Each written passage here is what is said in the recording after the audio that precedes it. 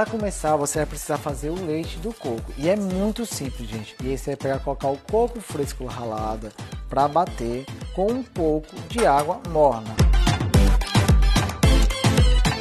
A receita do melhor café do mundo, você vai precisar fazer essa mistura aqui, ó.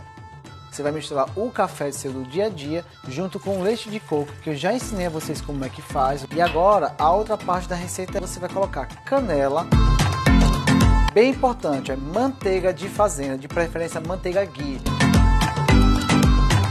Botei aqui a pimenta caiena e açúcar mascavo.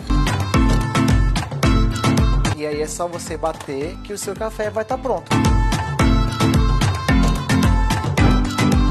E assim está pronto o melhor café do mundo. Ele pode ser servido quente ou gelado, é uma delícia. Maravilhoso.